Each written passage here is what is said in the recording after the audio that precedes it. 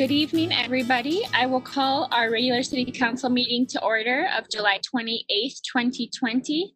Um, I'll ask everybody on the line to please um, on, to put your camera on and turn yourself off of mute and join me in the Pledge of Allegiance.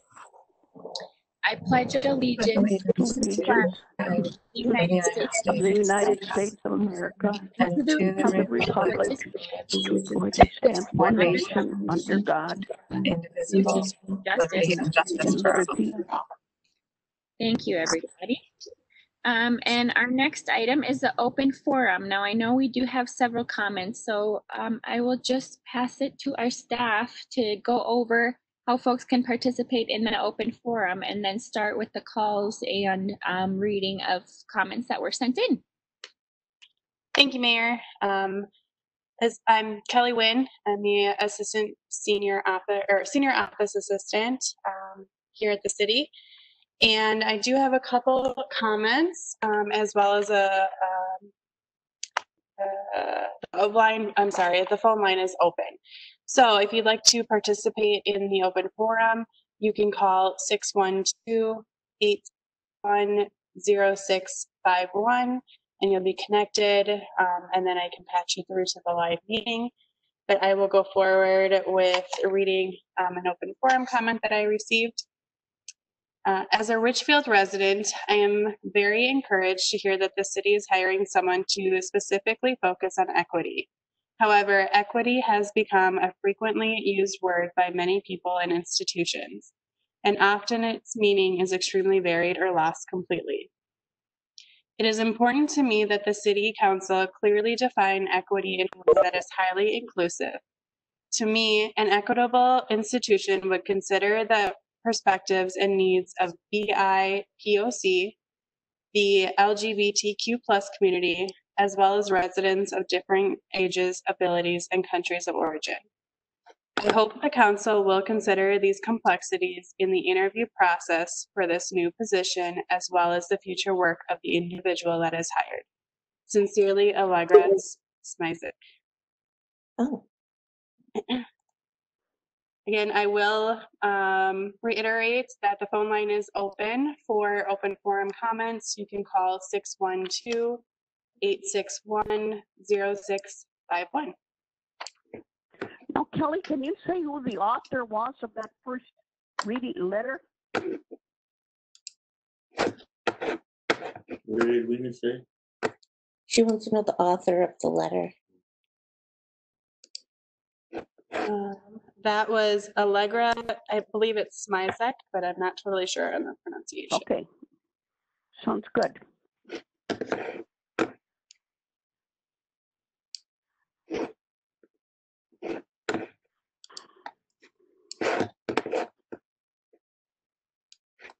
Do not have any calls yet. So if you'd like to continue, oh, too soon. Give me one moment.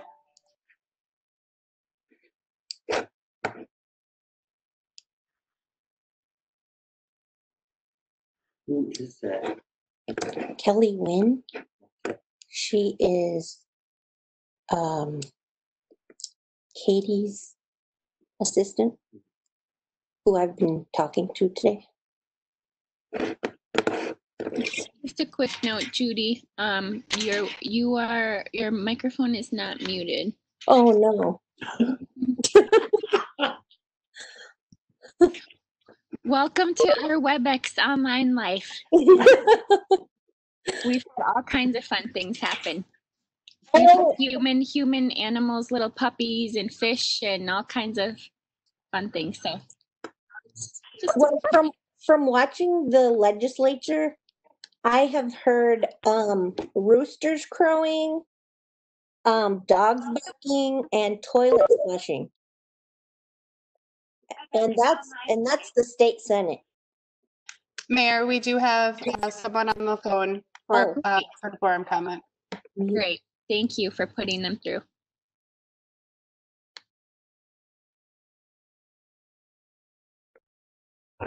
Hello? Hi, we can hear you. Oh, okay. I wasn't sure if that was my cue or not. This is Lucy Wolfstone, and I live at Fraser Sheridan Court at 2500 West 66th Street. in Richfield. And I'm just calling to say um, thank you for honoring uh, disability, the disability community, and um, the Americans with Disability Act. And just, I just ask that you'd uh, include everybody in your equity work, not just the disability community, but um, everyone. I sent in an email with my comments. So I think that'll just be easier. But I just wanted to call and say thank you for all of your good work. Thank you so much, Lucy, for taking the time to call in and to send us your email and for all the amazing work that you're doing in Richfield. Yep. All right. Thanks Well, for calling. Back to the meeting. Thank you.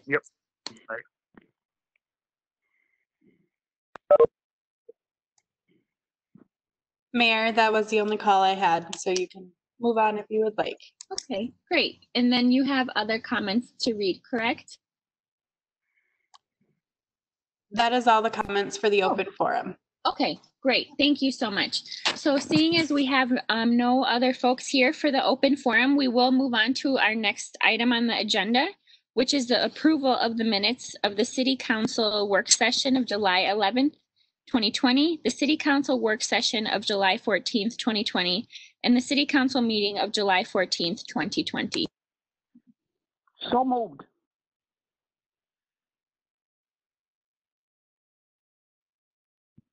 Full second. Thank you. The minutes have been moved by Councilmember Garcia and Councilmember Supple. Um, City Analyst um, Martinez Gavinia, could you please take roll call vote? Yes, Mayor Regan Gonzalez, Aye. Councilmember Supple, Aye. Councilmember Trautmann, Councilmember Garcia, Aquí. Councilmember Whalen. Aye. We have five ayes. Thank you very much. The minutes have been approved. So the next item is um, something we are all excited about, which is the proclamation to celebrate the 30th anniversary of the Americans with Disability Act. Um, so we do have um, Tasha or- Orstendorf, who is here from our Human Rights Commission. Hi, Tasha. Thank you so much for coming. And we also have Judy Moe um, from the Richfield Disabilities Advocacy Partnership, who is here to receive, both um, Tasha and Judy are here to receive the proclamation and say a few words. And then I also know that there's several community members who wanted to share some comments and our staff did put that together and we'll be reading through all of that. So what I'll do is I'll read the proclamation first and then I'll ask Tasha and Judy if they'd like to spend a few minutes just sharing a little bit about the work going on in the community or anything that they would like to share regarding um, the proclamation and the Americans with Disability Act. And then our staff will read through um, the comments that our residents sent in support of the proclamation. So I will read the proclamation now. Um, whereas the American with Disabilities Act was passed 30 years ago on July 26th, 1990 to ensure the civil rights of citizens with disabilities, and whereas the City of Richfield affirms the principles of equality and inclusion for people with disabilities as embodied in the Americans with Disabilities Act and the laws of the state of Minnesota, including the Minnesota Human Rights Act, and whereas numerous organizations in Richfield and throughout Minnesota work with constituents and communities to expand the opportunities for Americans with disabilities by reducing barriers and changing perceptions. And whereas the, the Richfield Human Rights Commission supported this proclamation at its June 2nd, 2020 meeting and recommended the Richfield City Council do the same. And now, therefore, I, Maria Regan Gonzalez, Mayor of Richfield, on behalf of the Richfield City Council, do hereby proclaim the month of July 2020 as Americans with, Dis- with Disabilities Awareness Month in the city of Richfield and call on the people of Richfield to observe this month with appropriate programs, activities, ceremonies, and to continue to support the civil rights of citizens with disabilities throughout the year. So here's the proclamation. We'll get a nice one signed um, and to you all. But I do want to invite um, Judy and Tasha to say a few words. I know both of you prepared uh, something that you'd like to share on with this proclamation. So I don't know if one of you would like to go first. Sure, I can go first. Um, so my name is Tasha, um, as the mayor said. Um, so I am a member of the Richfield Human Rights Commission. I live on the east side of Richfield and I've lived here since 2016. And as a member of the Richfield Human Rights Commission, I just wanted to thank the mayor and the city council for recognizing this proclamation marking July as Americans with Disabilities Awareness Month in Richfield. And as you mentioned, although the ADA was passed over 30 years ago, there's still so much work to be done, as there usually is with all of these issues. But um, the Human Rights Commission wanted to emphasize the work that really needs to be done still in the city with accessible housing, accessible transportation, all sorts of issues that we can continue to improve upon. So while we celebrate that Richfield has accomplished of everything so far that the city has done, we do continue to emphasize the ongoing effort that's needed to do even better by those with disabilities. So that's really the message that the Human Rights Commission wanted to share is partnering in celebration of this proclamation, but also emphasizing all of the work that still needs to continue to be done. So thank you all again for recognizing this proclamation. Thank you so Thank you, much. Tasha. Mm-hmm. Judy, would you like to share a few words? Sure. Am I unmuted now? Yes, you are. Okay. Um, is there a setting that would allow me to look at a bunch of you instead of just one? Yes. If you go to the top right corner, there's like these little white bubbles, and there's one of four little squares. If you like click over it, you can see. There's kind of one that looks like cards, sort of, or screens in a deck. There's one, it kind of shows the different Hmm. views. Are you finding it?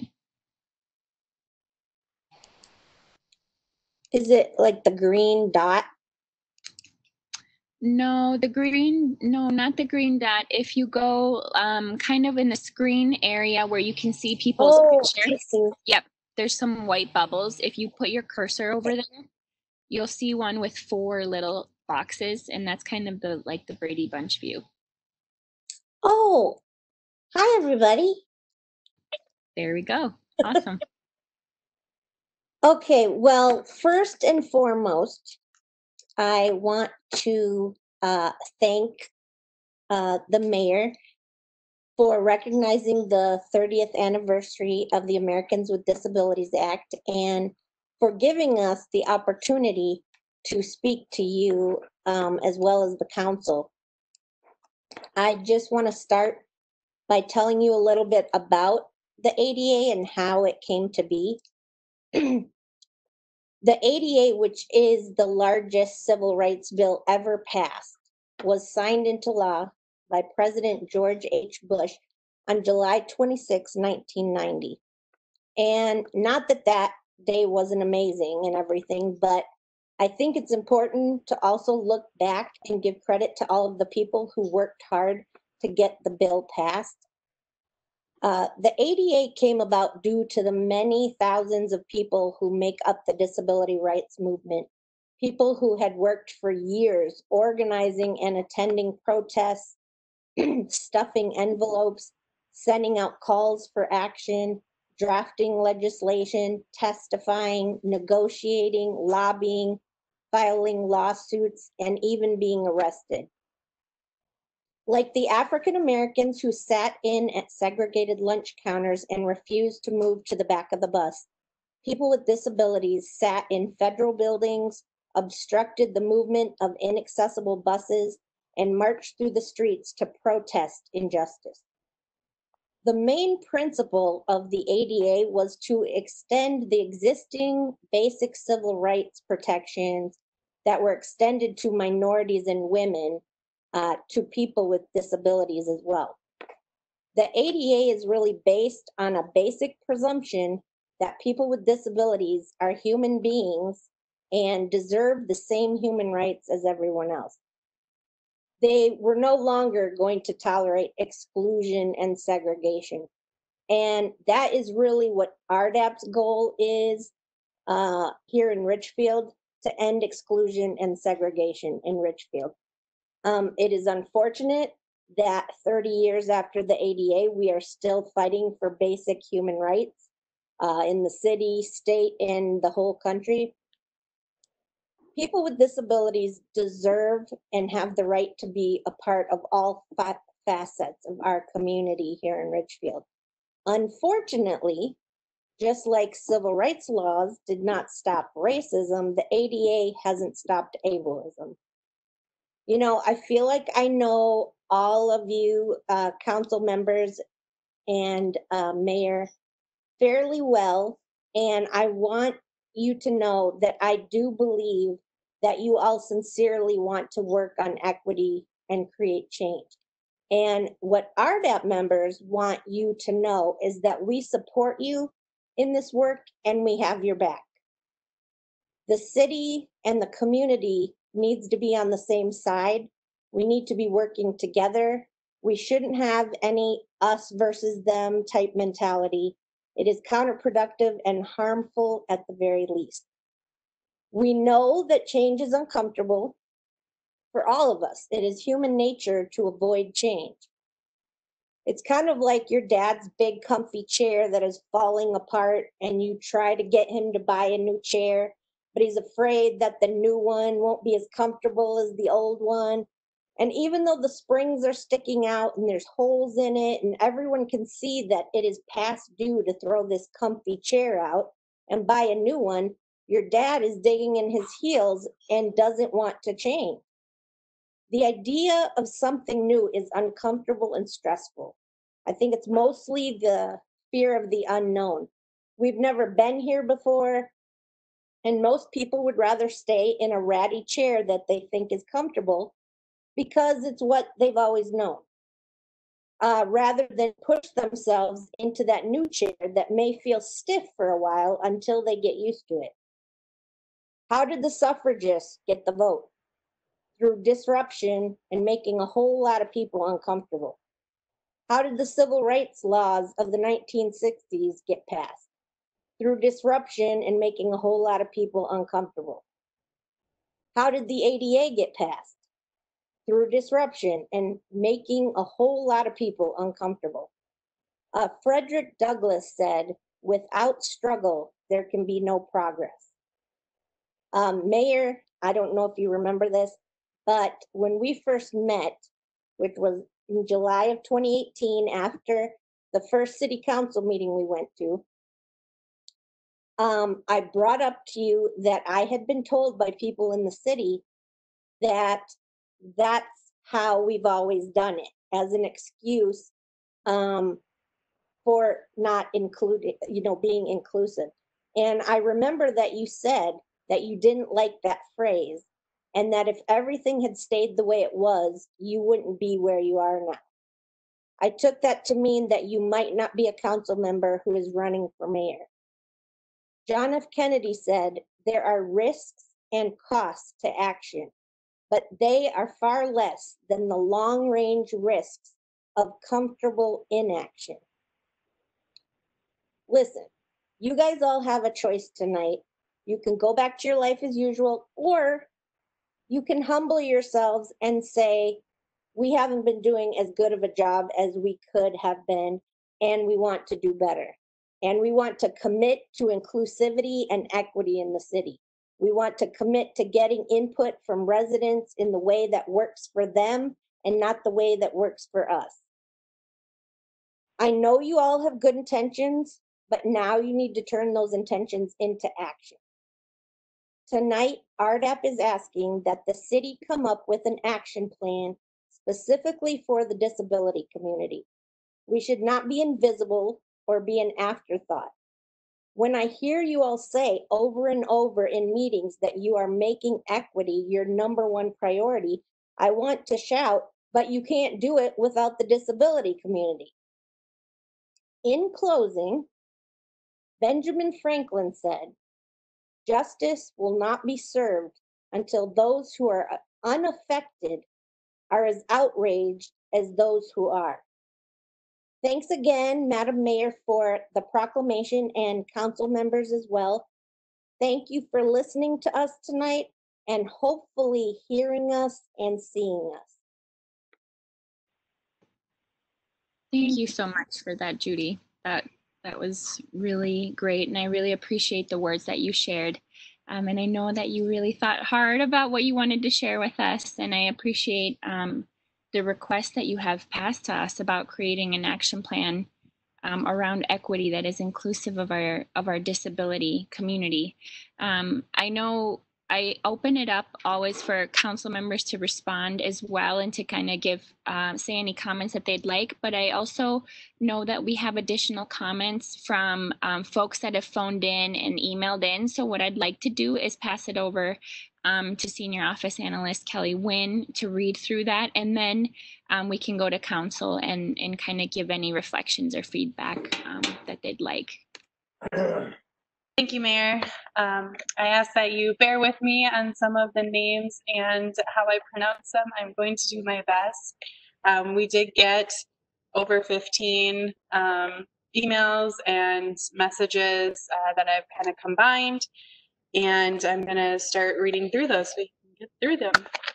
Um, my name is Lee Onazorj, and I use a wheelchair full time. I have lived in Richfield for 30 years. That being said, we need many more zero threshold accessible housing, including bathroom showers. The ADA is not a suggestion for what we, the most vulnerable people, need for housing. I want Richfield to be an accessible community from all angles. We are only temporarily able bodied. Anyone can become disabled at any time. We, the disability community, is part of Richfield and require a seat at the table when matters like this are in, discussion. Thank you for your time. Good evening. Please see below my comment for the meeting described. I'm a resident at Richfield in, of Richfield at 7228 Gerard Avenue South. My name is Ricardo Perez. I am a resident of Richfield and I'm writing with two important issues. One, Please add people with disabilities, non-English speaking community, and GLBTQIA plus community in the, your efforts to learn about inclusive, inclusivity. In order for us to learn and adapt to serve the community that li lives in Richfield, we need to be inclusive in who and how we are reaching out to people with different capacities. Intentionally matters now more than ever. Uh, please show us with actions your intentions to be an inclusive city. Two, please continue your efforts in ensuring the community is able to participate in the decision-making process in our city, especially when our tax dollars are being used to fund projects that impact all of us now and years to come. Please ensure you are doing everything possible to open a window for the community to communicate with you. Not doing so represents a big failure. The pandemic is not going away anytime soon. Please adapt and be innovative about how, where, and in what languages, in which platforms you are allowing people to learn about your meetings and how actively and how to actively participate in them. Thank you for your time. Dear Mayor Regan Gonzalez and council members, we understand that today a proclamation celebrating the month of July as the 30th anniversary of the passing of the Americans with Disabilities Act. We are writing in for the public forum today to show support for the disability community in our city and ask that you include all people in your equity work goals. This includes the GLBTQIA plus community, the disability community, seniors, non-English speakers, people of color, the indigenous community, and every other community that makes up our diverse city. It is imperative that it is made a priority in all of our cities. This one was actually written in by quite a few people. I want to make sure.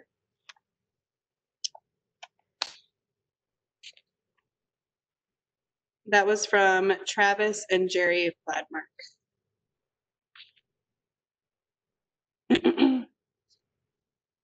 Next one, okay. I am writing to share appreciation for the proclamation taking place at tonight's meeting to mark the 30th anniversary of the Americans Disabilities Act, Americans with Disabilities Act. This is a landmark piece of civil rights legislation and one that deserves recognition. True access and inclusion for people with disabilities is something we all need to keep working on and working for because the ADA is not a. I'm not sure. Um, this is true at the city level in our schools and in every aspect of our city. We all need to hold ourselves accountable for ensuring that we, when we set goals and report outcomes, people with disabilities are included and reflected in our work. We also need to pay special care to the ways in which disability powerfully intersects with race, class, language, and other identities, and center in our efforts the voices and power of those who experience this reality on a daily basis. a Supreme Court justice once said long ago that sunlight is the best of disinfectants, meaning that shining a light on injustice and disparities should theoretically lead to action and justice. Unfortunately, we all know that isn't always the case, but I still think it's what we should be striving for. I appreciate those in our community who are leading these efforts and challenging us to be better and do better. Thank you for your time. Crystal Braki. This is from, um, I did kind of a blanket comment. Um, quite a few of the members of the community uh, wrote in with the same comment. So I kind of combined them all into one, but I'll also read all the members that uh, reported this comment. we understand that today is a proclamation celebrating the month of July as the 30th anniversary of passing the Americans with Disabilities Act. This includes the GLBTQIA plus community, the disability community, seniors, non-English speakers, people of color, the indigenous community, and every other community that makes us our, a diverse city.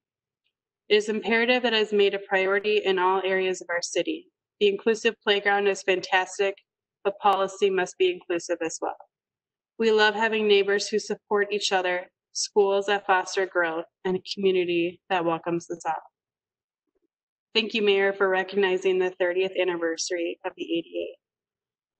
That was uh, put forth by Bonnie uh, Tor- Tortorchi, Caroline Martinez, Lisa and Jim Rudolph, Fabiola Martinez de Estrada, Christy and Joe Carr. Uh, Joe Carr is one that has an amazing lemonade stand every year that raises money for Gillette Children's. However, this year, due to COVID, he had an unlemonade stand last week and was able to raise over $10,000 for Gillette, which was more than double last year's donation. This comment also included Kim Hooley and Linda Creer. Dear Mayor Regan Gonzalez and council members, thank you for your upcoming celebration of the 30th anniversary of the passing of the American with Disabilities Act. As you know, for families and people living with disabilities, this was a monumentous and life-changing act. I'm writing in for the public forum today asking that you extend your commitment to equity in our city to include an intersectional analysis, better capturing all people, most especially those who are living with disability and who may also suffer in the intersections of race, class, gender, religion, sexual orientation, language, ethnicity, age, etc. It has been well established that the best way to understand how diversity plays out experi- experientially is to look not only at a single categorical variable, but also at the intersections of these identifiers. I ask that this lens is at the center of your city's approach to problem solving around equity and inclusion. We have an incredible community and culture here in Richfield, and it is imperative that we ensure through nuance- uh, through accurate analysis that this culture is experienced by all who call Richfield home. Thank you, Mayor, for recognizing the 30th anniversary, the passing of the Americans with Disabilities Act. I look forward to witnessing how Richfield takes action. Sincerely, Michelle Nadelli. Dear Mayor and Council members, thank you for recognizing the 30th anniversary of the passage of the Americans with Disabilities Act with a proclamation to be presented at tonight's meeting. The passage of this act was a milestone achievement in the recognition of our fellow citizens who live with disabilities, and I believe it is important to rededicate ourselves to standing united with the disability community. Tonight's proclamation serves as a good reminder of our mission to stand in common purpose with the disability community. I ask that the city's future equity work goals recognize all people, including the disability community. The disability community is an important part of the rich diverse diversity of our city. In closing, thank you again for your recognition of the 30th anniversary of the passage of the Americans with Disabilities Act. That was from Gordon Hanson. Dear Ms. Gonzalez, I want to thank you for the recognition of the 30th anniversary of the Americans with Disability Act. I can't think of a more deserving person than Judy Moe to receive this recognition on behalf of the disabled citizens of Richfield. Judy has been a wonderful resource and, a, and emotion support to many of us. I am a long, a lifelong resident. My dad's Minneapolis home was bought out by the airport, and he was the very first graduating class of Richfield. I graduated in 1981, moved back to Richfield when I got married. Our son graduated from Richfield this year. After being misdiagnosed for 25 years, we realized that I had MS. Within two years, I had an MS episode that resulted in a stroke that weakened my right side and has now left me confined to a wheelchair. I met Judy three years ago after filing complaints on the way I was rudely treated multiple times by the Richfield EMTs. They denied everything my family said had happened. When I spoke to the fire chief, I reminded him that when people call them, they're at their most vulnerable and deserve their respect. Respect is fluid when you are a part of the disabled community. Am I going to be welcomed? Will I be judged by my disability? As a homeowner and taxpayer, you would hope that the access to your community is given, but not, many times is not. Our citizens each have their own strengths and challenges. A strong community respects those challenges, makes it safe and inclusive. When we make it inclusive for one, we make it possible for many to become involved. Please remember that not all disabilities are visible, but that does not make those citizens any less valuable. I love living in Richfield. Let's continue to grow and respect all who reside here. Sincerely, Jennifer Ott. Dear Mayor and council members, I am writing today regarding the 30th anniversary of the passing of the Americans with Disabilities Act. My wife and our son with disabilities moved into Richfield in 2010, and in the past 10 years, we have grown to love the city of Richfield for many reasons. Wonderful neighbors, opportunity for our son to participate in church as a volunteer with Sunday school and communion server, helping at PennFest, and walking in the Richfield Urban Wildland Run Walk event as a fundraiser for the Richfield Historical Society. I have been an active advocate for disabilities for nearly 40 years at the Capitol as a 10 year board member and president of ARC Minnesota, and a member of the State Quality Council at the Department of Human Services. I am also on the Institute of Community Integration Advisory Council at the University of Minnesota. This experience has helped me to understand the needs of people with disabilities and the achievements of the ADA over the past 30 years. Richfield has, has done a fine job of inclusion for the many groups who have been denied the opportunity to be included in the very day to day activities that help each of us have a quality of life. The job is not finished, and we must actively work to help every person, persons with disabilities, non English speakers, and people of color the Indigenous community, the GLBTQIA community, and every other member of the community that makes up our diverse city.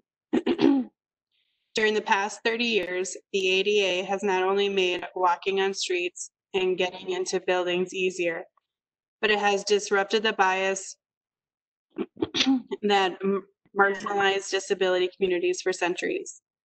Thank you for your presentation to Judy Moe in recognition of the 30th anniversary of the ADA and for her long time work to improve and give a voice to people in the community who are unable to speak for themselves. Sincerely, Lester Bauer. Excuse me. Hello, I want to send kudos to our Judy Moe of the Richfield Disability Awareness Partnership Board. We are aware that the 1990 Americans with Disabilities Act had to be passed because the 1964 Civil, Civil Rights Act did not include the discriminating against people with disabilities. I am grateful for Judy Moe's work with RDAP. I know that I am grateful for the efforts towards inclusion of everyone, which the Civil Rights Act, the ADA, and the and currently the demonstrations and protesters are making. It is all towards realizing and accepting that we are all out here on this ball in space called Earth together. And that each person, no matter how differently we look or walk or communicate, has equal worth and deserves to reach their full potential towards the best quality of life they have they can achieve, unimpeded by their fellow man, woman, or child. Encourage us all to make efforts to accept the fact that we are one, we are all humankind, and we need to care for one another's welfare. Because when we each take our last breaths, leave the life in this body we are in, and transition to the unknown, all that we really take with us is how we were treated and how we how we treated each other. Thank you, and I hope that the recognition gives you some much needed wind beneath your wings Judy and Mayor and really everybody. Stephanie Mockbee. to the Richfield City Council.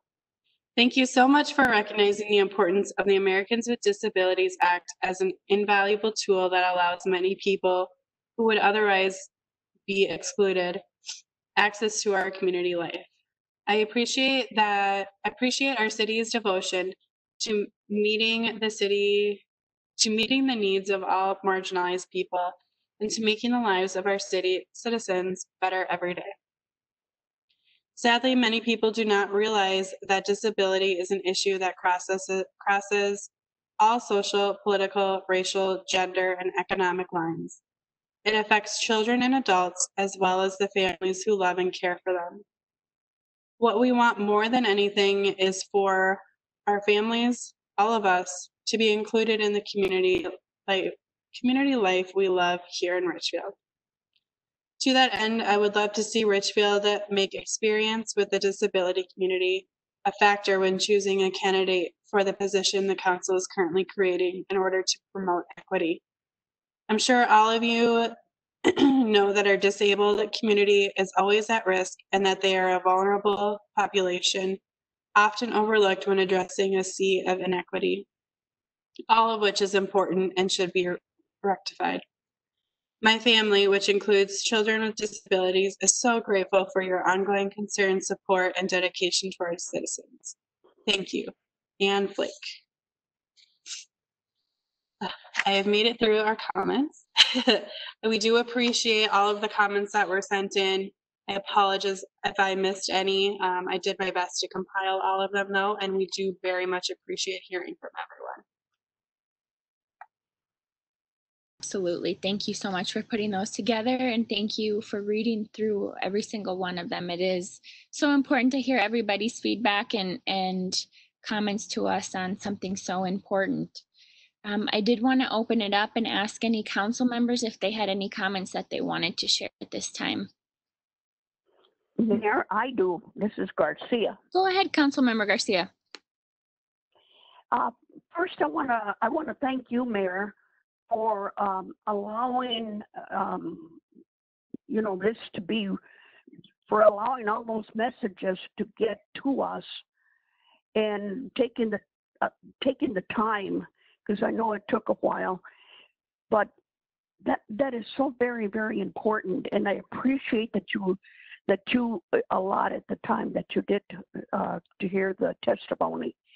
I also want to thank Kelly. She did a heck of a good job in re- in in reading those, and uh, and you did, uh, and I appreciate that uh, that we had somebody read them because it really um, made it seem so real. Then I want I'd like to talk um, about Judy Moe. Now, Judy Moe, I think, has been, you know, we we all all five all five of us know about the Disability Act, but do we really know about it? And the answer probably was no. But now that we've gotten to know and, and we're friends with Judy, I think we can all thank her for being such a great mentor and such a great teacher in bringing us to the realization of exactly what the Disabilities Act is and does or doesn't do. Um, I just, uh, I, you know, Judy has emerged as a leader not only in Richfield but at, uh, the state capitol, and, and in, in many, she's done many forums. She's done many um, uh, consultations. She's she's just been everywhere, and I am extremely proud of her. Um, you know the the um, the other thing is that oftentimes when we you know first when I used to see someone on a wheelchair or someone with a disability, you know, um, I didn't really I saw them and I accepted that, but I didn't really understand what is what is it that they're going through day after day? What is it that what are, what are all the obstacles that they have to go through? What are all the all the complications in their in their well-being and their physical well-being and their and their medical well-being and what about you know uh, we don't know exactly what goes on every day because but Judy knows because she lives with someone with disabilities and Judy is is got to be the best mom in the world. I I, I salute her for for being uh, positive and for being uh, always on top of, of everything. And just, I mean, she works really, really hard. Judy is a person that I really have enjoyed knowing, and I know, and she's taught me a lot. And I look forward to working with her. And I just believe that when this uh, uh, virus is over with, uh, one of the things we ought to do is have uh, RDAP and uh, um, do um, with with the advisory board of health do um, a town town meeting, an informational meeting, and and I think that the League of Women Voters will sponsor it as well the Human Rights Commission, the advisory board of health, city council, and other organizations, so we can have uh, resources there, and we can have um, um, and we can have providers there, and the whole works. But my heart uh, is is just so proud of the fact that we're we're we are getting somewhere with this, Mayor, and and I thank all of uh, uh, all of you for you know for going and listening and learning and and doing the best we can, and we will continue to reach out and we will continue to do our best. And Judy, say hi to my best friend Raven. Thank you, Councilmember Garcia. Any other council members that would like to share comments? Councilmember Supple?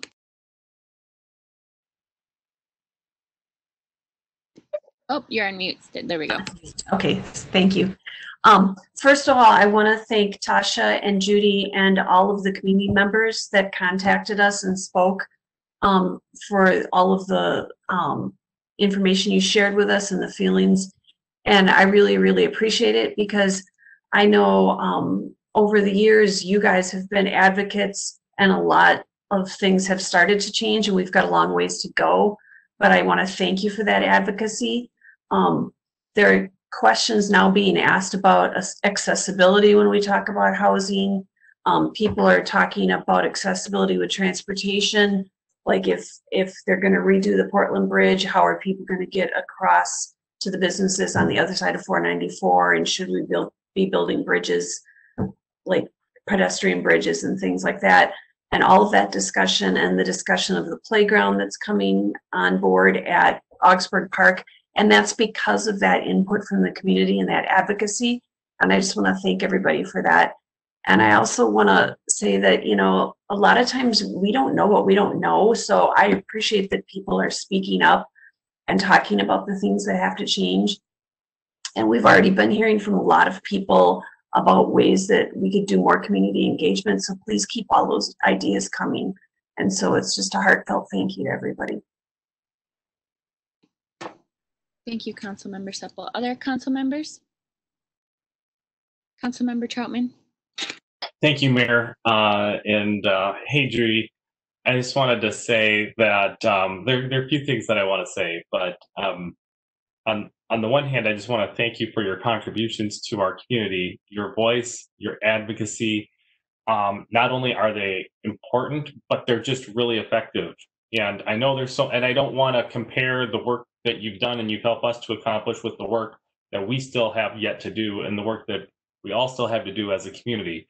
But moments like this are really important because it's just important to recognize not just the work that we have to do, but the work that you've done. And you've just done so much, not just on specific issues like the roundabouts and trimming hedges when you first came in and talked to us, but but you've just made people with disabilities, their lives, they're more present, more visible. Um, I think not just for the council, but for our staff. And um, you, of course, didn't do that alone. You did that with Raven, and you did that with Lee, and you did that with so many with with Lucy, and so many of the people that wrote in and called in today. And so I know when you're recognizing this, you're you're standing in the shoes of lots of people from our disability community. And so I know you recognize that. I want to recognize that.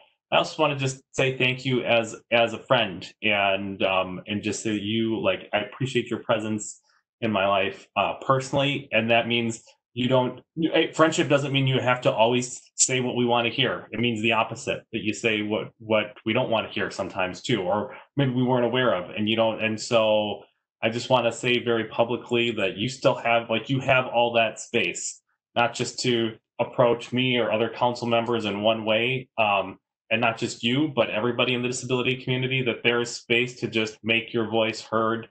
Um, and I appreciate that you've you've done that with me, and I appreciate our friendship. I appreciate your work. I'm so glad you're in our community, and I'm glad we're honoring you and we're honoring the ADA. And um, so so thanks a lot, friend.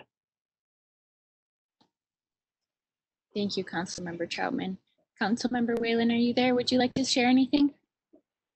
Uh, yes, thank you, Mayor. Um, I want to echo a lot of what others have said. Um, I also, a specific request um, is if we could, I, I was CC'd on a couple of the, the emails, but um, the Assistant Win, if you are able to, um, if you're able to forward those to us, that I would really appreciate it. There were a couple specific um, suggestions or requests in there, and I think um, I, I definitely want to repeat all of the thank yous that the other councils have, council members have said to everyone who spoke up. Um, I know that these words are not just representative of a single email, but of whole stories, whole life experiences, and a lot of work that's already gone into things um, that others have mentioned. But I think, uh, as Councilmember Trautmann was saying, um, there's work for us to do too. And I, what I heard specifically um, was that request for an action plan specifically on how we as a city relate to and serve people with disabilities to make sure that they are included. Um, and then also uh, a couple different specific requests about our equity coordinator position. And I think um, I think we're it's not totally set in stone, but I think we're pretty uh, pretty much on the same page that that needs to be part of next year's budget, and we're ready to move forward on that.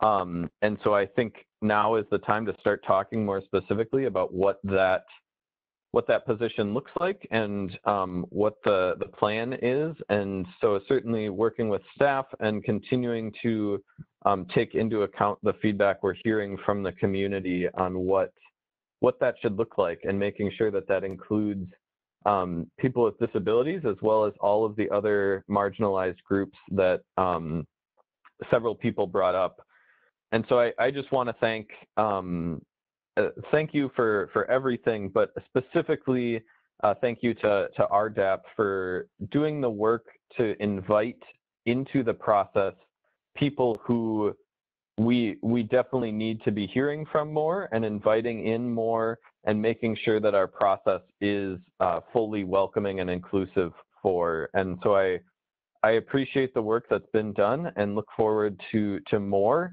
and hope that uh, hope that we can start getting it right more often uh, without needing the reminders, but appreciate those when they're needed um, and look forward to, to the work that we can do together um, in the future. Thank you, Councilmember Whalen. Um, and without repeating, you know, a lot of the sentiments that, that as Councilmember Whalen said, as um, that I share with our whole council that they just expressed today, um, I just want to lift up two things in addition to everything that has been said. It's just been such an honor and such a gift and so impactful to to grow my leadership and to grow um, and to see the leadership grow of our community, especially so many community members with disabilities that RDAP has really grown and cultivated, um, encouraging people to attend meetings, encouraging people to face their fear of public speaking, encouraging people to speak up and build relationships. Um, it it has just been so great, and this is such a huge asset in our city, um, and it just speaks to the importance of continuously working together. It's not just on the city staff. It's not just on the council members. It's not just on RDAP. It's not just on Judy Moe. It's on our whole community to really work together. Um, and we need to keep building that community infrastructure. And I really do appreciate the work that Judy, Raven, and all the folks from RDAP have been doing to build that infrastructure. And um, this is just a great example and um, that highlights, you know, these proclamations are not things that we do just to put them out there and um, to to acknowledge a date, but it is actually to to build community, to build that infrastructure, and to think about how we can work together. Um, so I just want to keep encouraging everybody that these kind of changes will will require nothing less than you know nothing nothing short of that partnership between our residents, the people most impacted, the policymakers, the staff, and our organizations. Um, so thank you for all the contributions that RDAP is doing and all the residents in building that community infrastructure. And we're really well poised with this equity coordinator, with where we are um, in our city today to really move some great work forward. And I really do look forward to to carrying this out together. We do have a lot of work to do.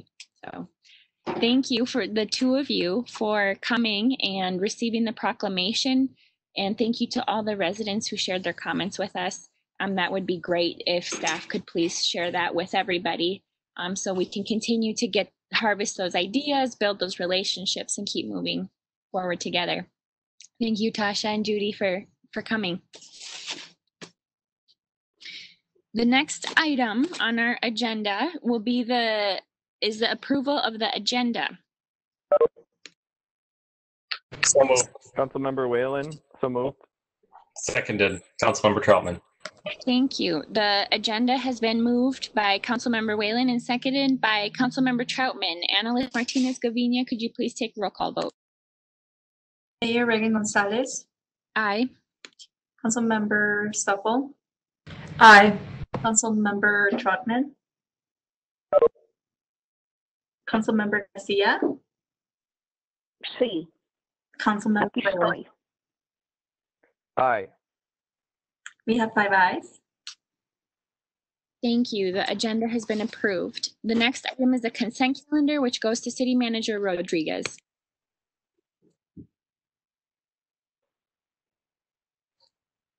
Thank you, Mayor.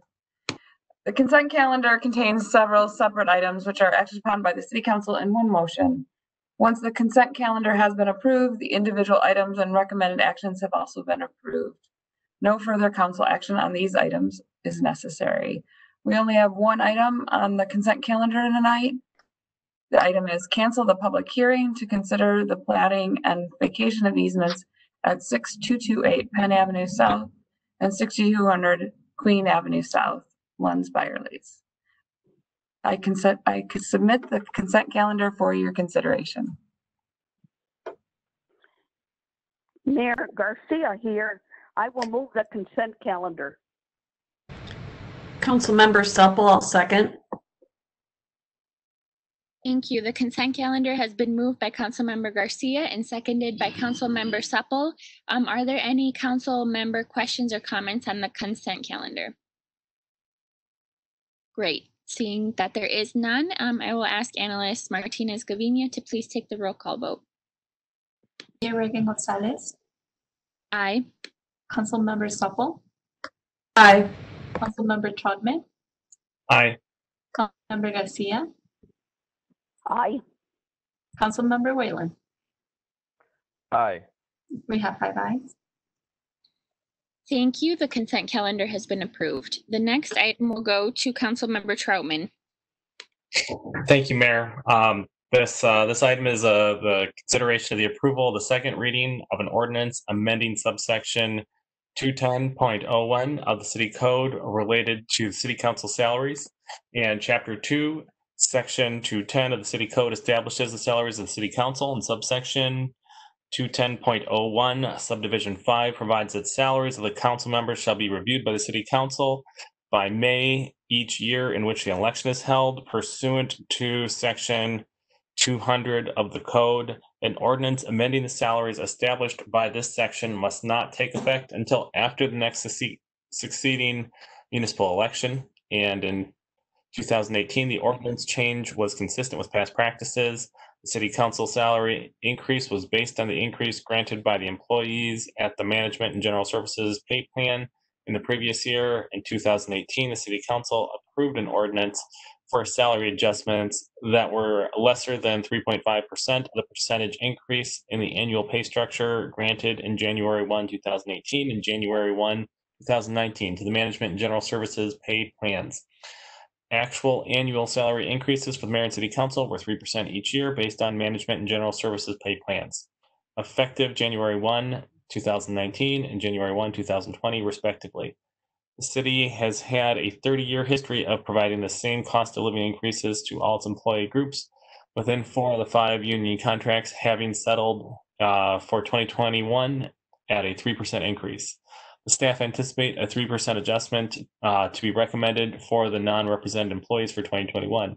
In the past, council has also reviewed their salaries compared to other metropolitan areas. We have attached the information on other metropolitan cities' salaries. On June 23rd of 2020, the city council reviewed the comparable city council salaries and the city's past practices in setting future salaries during a work session.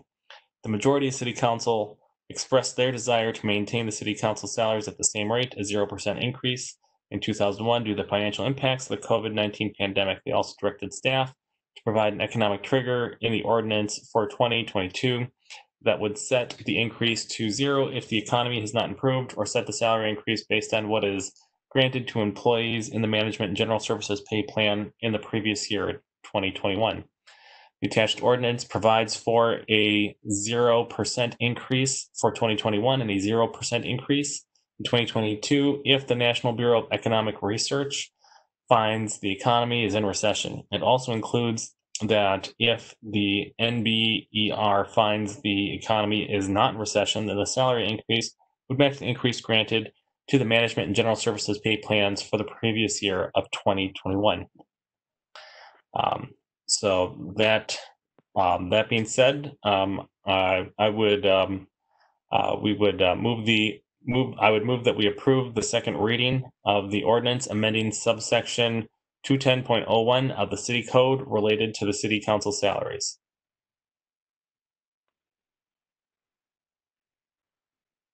Councilmember Whalen, I'll second.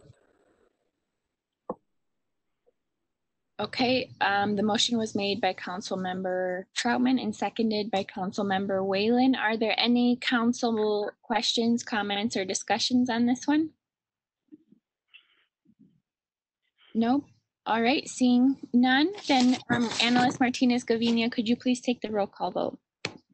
Mayor Regan Gonzalez, Aye. Councilmember Supple, Aye. Councilmember Trautmann. Aye. Councilmember Garcia, Aye. Councilmember Whalen. Aye. We have five ayes.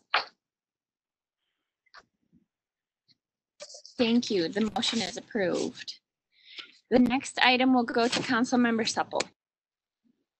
Thank you, Madam Mayor. This item is to consider the approval of the preliminary design layout of 65th Street from Nicollet Avenue to 66th Street slash Ray Drive, including the Lyndale Avenue pedestrian, pedestrian improvements between 64th Street and 66th Street as recommended by the Transportation Commission, and a contract not to exceed $439,804 with Kimley Horn and Associates Incorporated for final design engineering of the 65th Street reconstruction project between Nicollet Avenue and 66th Street slash Ray Drive, including the Lyndale Avenue pedestrian improvements between 64th Street and 66th Street. The purpose of this reconstruction is because the pavement and the underground infrastructure condition along 65th Street continues to deteriorate. City staff have identified a need to complete reconstruction of the roadway in the 65th Street corridor between Nicollet Avenue and 66th Street slash Ray Drive. The reconstruction also allows for the release of a utility easement across the hub property. Infrastructure improvements along Lyndale Avenue between 64th Street and 66th Street are recommended due to recent and future redevelopment in the area.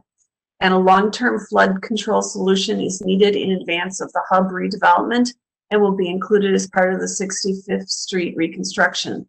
The project was reviewed by the Transportation Commission at many meetings, along with public review and comment from five open houses and input from several business meetings. The first three open houses in 2019 were focused on phase one of the project, and the last two included the full project extents.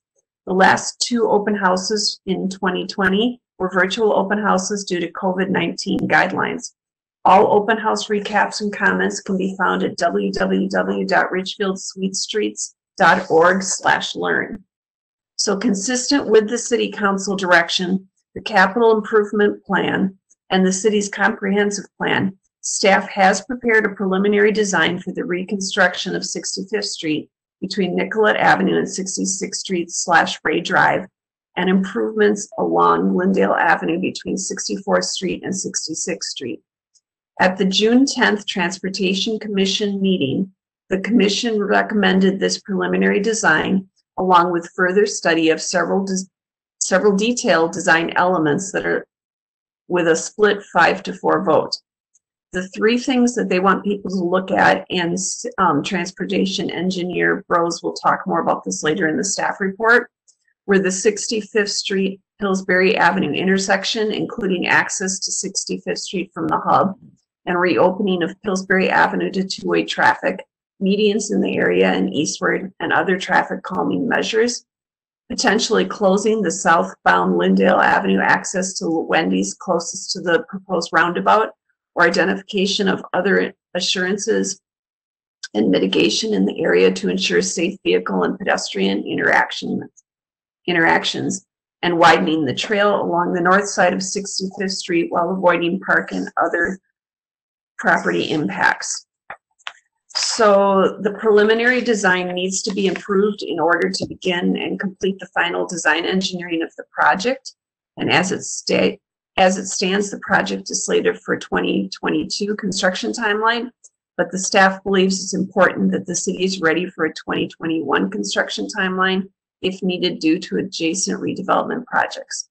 The estimated cost of the project is approximately $9 million. The cost includes the replacement of city utilities and flood control improvements, and it's financed by $7,800,000 of street recon- reconstruction bonds and $1,200,000 in utility bonds.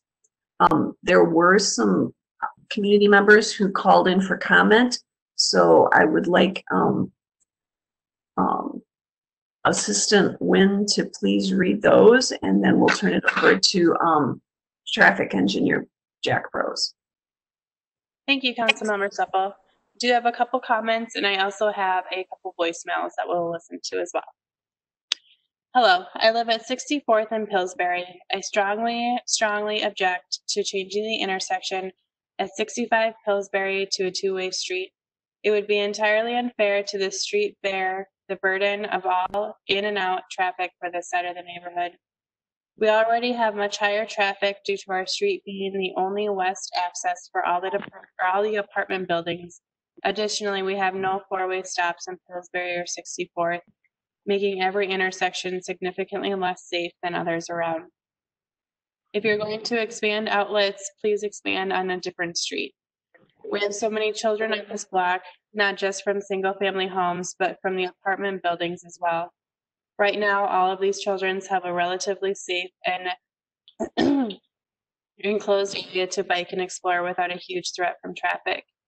During the school year, dozens walk up and down 64th to their bus stops every morning and night, and the large majority of them come from uh, come from or across Pillsbury to do so. I am telling you, this intersection is already the sketchiest part of an elementary kid's daily travels. I lived here for nine years, and my taxes go up every single year, about 4000 this year. That's more than $300 a month, pretty high for a single working mother. But I pay that without objection to help preserve and service the community of Richfield. I love my neighborhood, my town, and my street. I believe my voice should, should matter in these decisions. I object to our tax money being used to bring even more traffic to our street. Please don't hurt the character of our neighborhood. Thank you. Amanda Vetch at 6332 Pillsbury Avenue. I'm writing you to express my extreme disappointment and objection to the plans that are being considered for Pillsbury Avenue. I have included the two officials from the letter that was sent and also Ms. Garcia as our direct council person and Ms. Regan as our mayor. Including the other council people as well to ensure that our neighborhood's stance and objections, especially those on the block most affected by this proposal, are accurately conveyed. First, I feel deceived. At the block, at the last block party, not even 365 days ago, we were assured that this issue would not even be considered for two to three years. Yet here we are, 11 months later. The commission has made recommendations, and you loop the residents of this area in at the 11th hour. My biggest objection to this change is that there literally is no reason for it. This area is not a destination to which those not going to or from a home here need additional access points. What it does is destroy a neighborhood by adding into the mix of homes and children playing and neighbor neighbors creating the urban hometown a bunch of impatient drivers looking for a quick way around the mess made by our streets by reducing everything to one lane and unused bike lanes. On the block that you are considering making this change, there are 15 children. That's 15 balls that can inadvertently bounce into the street, or children who are learning to ride their bikes having to dodge impatient drivers without any business to be in the neighborhood except that they are looking for a way to zip through down en route to somewhere else. By and large, not considering whose lives there, who lives there, and what to encounter because they are set on just getting somewhere else. I have heard it argued that it alleviates traffic on Pleasant, the one-way street to the west of Pillsbury. Yet there is nothing to suggest that traffic on that street is a result of people heading to their home in this neighborhood. Any traffic is just as likely, if not more so, to be from the 12 plus apartment buildings that reside on that street and those residents using Pleasant to access their own homes. When you consider that each building has a minimum of 12 units, if even half of the residents have a vehicle that comes and goes two times a day, once leaving and once returning, that is quite a bit of traffic. At a conservative estimate, that is, this is 288 car encounters per day. Legitimate traffic that opening up Pillsbury does not alleviate. What did the study that you do or that you did on the traffic there show? What did the study that you did on Pillsbury traffic show? I've also heard it argued that this used to be a two-way street and the taxes also used to be a lot lower. Are we rolling those back too? It's a ridiculous argument at best because it doesn't consider that it was closed off for a reason. Because it's not a destination that needs to accommodate traffic coming and going from multiple points. It's a neighborhood, an urban hometown that deserves to be protected by those representing it. I know that this is council, that this council has been at odds with the neighborhood for some time over the gar- garage issue. Do not th- let that cloud your judgment on doing what is right and rejecting this proposal. It does not serve this neighborhood and only stands to make Richfield residents less safe by knowingly rerouting impatient traffic heading somewhere else through a 100% residential neighborhood pocket. Respectfully, Ginny Moran at 6415 Pillsbury Avenue South. And I do have a couple voicemails. Yes, this is William oh one Wentworth Avenue South, Richfield. Uh, telephone six one two eight six six one four one five. I do totally approve of your final plan about leaving Wentworth and Blaisdell alone and converting Pillsbury. Uh, makes a lot of sense. Uh, I would like to make one other comment about 66th Street. I don't know why that wasn't made two lanes both ways all the way. Uh, the single lane traffic on 66th Street from the Cedar Freeway back to, I believe it's Nicollet Avenue or Glendale, and one lane traffic on a bus line uh, makes no sense. Uh, buses stop and cars back up. Yep, we took up all that space for bike lanes that nobody uses. Uh, there, there's not 10 bikes a day that go up and down there. There's 10,000 cars. The comparison isn't even close. Why don't we have a bus lane on 67th Street? Uh, that's my comment. Thank you. And I do have one more.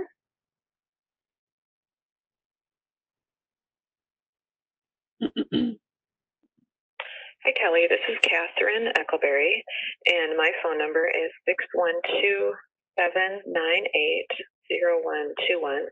I live on uh, 6409 Pillsbury Avenue, South in Richfield, and um, I'm calling regarding the uh, the meeting that you have today to consider the Transportation Commission's recommendation to open up Pillsbury Avenue into a two-way street. Um, we have a large family. We have six children, and they bike up and down that street into the circle and back. And um, we have small children. They all age, range in age. Um, I absolutely do not want to see that opened up into a two-way. There's there's absolutely no reason to do so. Everybody um, is just fine getting out um, the way it is set up. It's, I think it's a waste of money, but also it's a big safety issue. Um, I'm not the only uh, household. My husband and I, we have six children. We're not the only household with children on this street. There's, let's see here, three, three other homes with children. Um, actually four, but one of them's a teenager. Um, but with small children. So, and and they do like to bike. I know another family likes to bike up and down there, and um, this is not a good idea. It is not not at all. So I would really like this stopped. Um, thank you so much. If you have any questions, feel free to call me. Thank you. Bye. And that is what I have for comments. Thank you. Thank you. Um, Transportation Engineer Broz, do you have information for us? Yes, thank you. Uh, my name is Jack Broz. I'm the transportation engineer for the city of Richfield. Um, I'm going to share my screen and do a uh, presentation overview of the uh, project. Uh, so this is our next um, Sweet Street project. As you've heard it described already, it's uh, 65th Street is a full reconstruction shown here in orange um, from the west side over by 66th Street, right all the way to Nicollet. And then there's bicycle restriping improvements on Lyndale. Uh, important to Sweet Streets is our design process, which is a blend of technical analysis, outreach, um, input from uh, the community through our outreach program, and the structure with the Transportation Commission review. It, in 2013, we established a 50-year visioning process. Uh, these are the guiding principles for our transportation projects. Uh, they're put together in a rank order, And this particular project, the top three were very important as our considerations for multimodal design, the connectivity in the public realm with things like uh, Richfield Lake, and uh, the local economy. And you heard um, there's the hub potential redevelopment and um, near near Lyndale, uh, there's multiple redevelopments. So this is a, a, our guiding principles that we um, go and use through our process to make sure we understand the right things, because this street will go on for the next 50 years. Um, as mentioned, we had five open houses, many transportation commission meetings, and meetings along the way uh, with businesses and residents along the corridor. So the problem, what we heard, pedestrian concerns, their safety and accessibility, uh, sidewalk gaps. Uh, you see in this photo, uh, there's no sidewalk in the area just right in here. Uh, sidewalk gaps and the conditions of the sidewalks are very poor, uh, and the crossings are very challenging of 65th Street and Lyndale. Uh, there's also concerns of the speeding that occurs on both Lyndale and 65th Street. Uh, the bicyclist concerns um, specifically was the lack of facilities along the 65th Street corridor and Lyndale. Motorist concerns, um, the signal operations at uh, Lyndale and 65th Street create a, a delay, especially now with the uh, more efficient operations at Lyndale and 66th Street, the roundabout. Um, and there's always concerns people express about three lane operations, uh, I think is one of those comments just expressed. Um, general concerns along the corridor included uh, the corridor's appearance and uh, the, the need for additional parking in this part of the city of Richfield. The next step we do is we take that problem and we try to put measures that we think would address some of those concerns. Um, starting with equity, one of the things we heard, and we wrote a, a measure here to reduce traffic on Pleasant Avenue. So that's a one-way in for everyone in that neighborhood between Nicollet, the railroad, 65th, and, and the crosstown. So reducing traffic on that street where all those apartments are uh, was one of our measures. Pedestrian uh, to improve the experience across and along the streets. Recreational biking and the check marks, by the way, we feel we've been able to address those, uh, at least in some degree. Recreational biking uh, provides space comfortable for recreational biking. Uh, commuter bicycling, you don't see a check mark here because in the process, there was a lot of discussion about the adequate facility one block over on 66th Street. And so the need to do it a parallel route on 65th Street for commuter bicycling, uh, the higher type design feature was not considered uh, in the long run something that fit into our design. Uh, vehicle measures provide left turn lanes for safety, reduce speeds, and reduce the waiting or delay uh, along the corridor. The environment, uh, add green space with our goal. Winter maintenance to add room for snow storage. Businesses, uh, primary goal was to add parking on street in this area. And for residents, improve access to the neighborhood. So the features that we brought to the design um, in, in this project you can see here we've added a trail along the north side. This is by Richfield Lake. Um, we add medians for better crossings of median refuge, like we've done on our other streets. We're adding a continuous sidewalk along the south side, which doesn't exist for much of the corridor today. So there'll be a trail on the north side, si sidewalk on the south side. In general, this also improves our crossing distances. Uh, crosswalk visibility can be improved for pavement markings, the signage, uh, and flashing lights like our other corridors. We've been able to increase the offset to traffic with pedestrian paths, improve shading and lighting along the corridor. Bicycling. Uh, we put a trail on 65th Street on the north side. Um, but on Lyndale, we are going to make that conversion from four to three, three lanes. Uh, in the inside here, you can see that that also allows for parking in on the outside with bike lanes and the two travel lanes with a left turn lane. So we have uh, quite a few improvements in this segment of Lyndale with the restriping. And for vehicles, the primary reducing speeds and reducing delay, we do propose a roundabout uh, similar to the roundabouts uh, south of 66th Street, so the 68th, uh, 70th, and uh, 67th Street roundabouts, a smaller version. Um, we're proposing a similar roundabout at 65th Street in Lyndale. And now how we all roll this up together. Uh, this segment of the layout, you can see um, we have multiple crosswalks that we're proposing into the park. Uh, it's a two-lane street, parking on both sides with a roundabout at Lyndale. As we move further east between Lyndale to Pillsbury, we go from the roundabout, we continue a two-lane street in this segment, we upgrade the railroad crossing.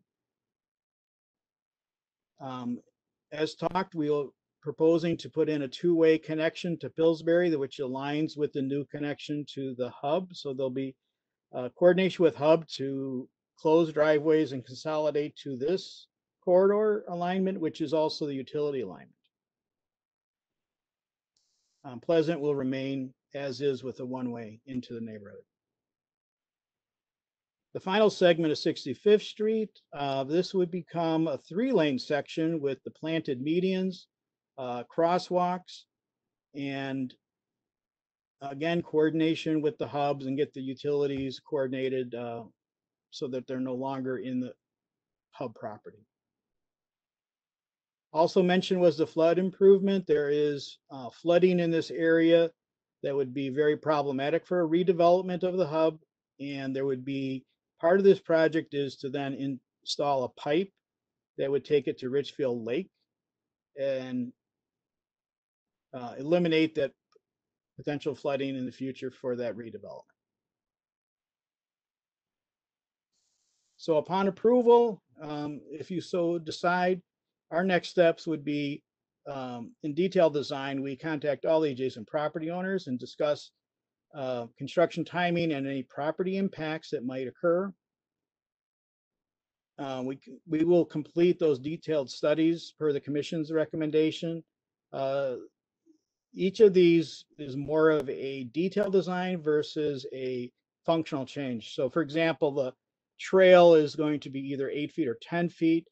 Um, we'll be cautious about widening the trail and creating impacts. If we can widen the trail without significant impacts, for example, trees uh, around Richfield Lake, um, we would we would make that recommendation. And all of these, what we'll do is we'll come back with an update to council and the Transportation Commission to know how these detailed studies uh, worked out.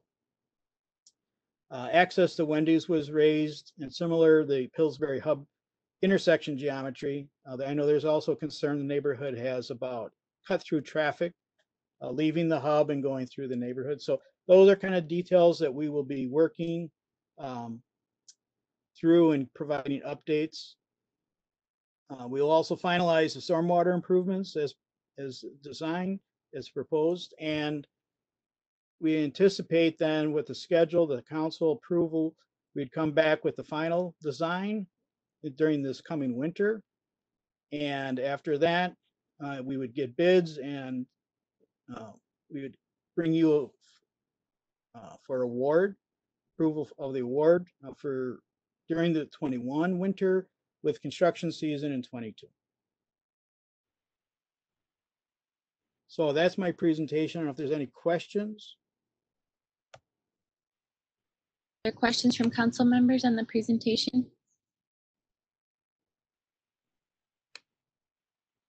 No, doesn't look like it.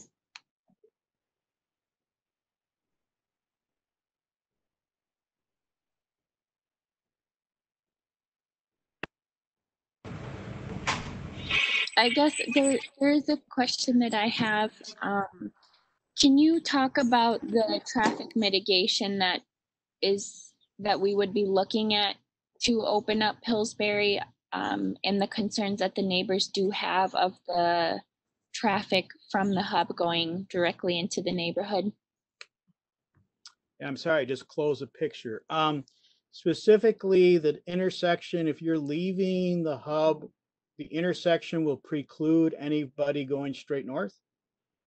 So picture that you have to turn left or right. You can't go straight at 65th Street. So our engineering will make sure you can't make that maneuver um, as a beginning point. So that, that should be precluded by the intersection design. Thank you. Other oh, Councilmember Trautmann? Thank you, thank you, Jack. Um, great presentation as always. Um, I, I wondered if, just with reference to to the neighbors saying that there there's no need um, for for changing that one way, if you could just take just a, a, a moment to just speak to those neighbors' concerns and and share why why we think that might be needful or beneficial. Well, we, we looked at the existing condition. Um, and so all of the people for all four of those streets, the only access into that neighborhood is to go up on Pleasant. Um, so our goal with, with that in mind and, and that really being an equity issue with the, the, the renters versus the single family homes. Um, because some of those homes live on a cul-de-sac street and then Pillsbury has a one-way tr- traffic from 65th Street. Then it turns into two-way after that. Uh, but it's a narrow one-way street for all of those people to go past those apartment buildings to get into their neighborhood. Um, and so that was the the equity concern that we had. And so we looked at a quick study of opening all the streets. We looked at opening any one of the streets and uh, through our early, you know, we had, like I said, those five open houses. We did get a lot of feedback on all this, all of those scenarios. Um, if we did not make the recommendation, we would not be improving at all the equity uh, that we believe we can make. We think it's the Yeah. right thing to do, so that's why we've proposed it. And we know there's there's a change for the amount of traffic, but we're trying to minimize or eliminate the cut through from the hub in what we're proposing. So it's it is a trade-off, but we think it's the right thing to do to address the equity and give that neighborhood two options to go into the neighborhood, not just the one. Thank you. Other comments or questions from council member? Council member Supple? Can you talk a little more about the timeline? I know there have been concerns about the flooding. Are we going to be starting to remedy that as the first part of the project or what are we going to do with regard to the, the water, stormwater and stuff? Can I ask direct Asher to respond? Sure, Jack. Um, Mayor and council members, yeah, we, the stormwater portion would go alongside the road reconstruction. There may be, um, we have to really work with, with the hub because whatever happens, whether the road construction goes ahead of the hub or the, then we would put the pipe in and wait for that hub piece to, to connect to it, but we'd have to have the whole thing designed across the hub. So we're working with them on the stormwater design. It's a separate but parallel track. Um, and we will tell the 65th Street designers what they need to design around as far as the stormwater, and that'll be included in that construction. So it'll be on the same time frame, but in multiple pieces with the hub, if that makes sense. Do you want to follow up that it will also include some planning for Richfield Lake in that area as well? Yes, that's what we're starting to do right now, council member, is engage in that conversation. What, what impacts will we have at Richfield Lake just to get the pipe through the lake? And then what can we, how can we enhance that entrance to the lake? And um, possibly even do some of the wayfinding that's been talked about in previous years that we can maybe include in this project as well in the area.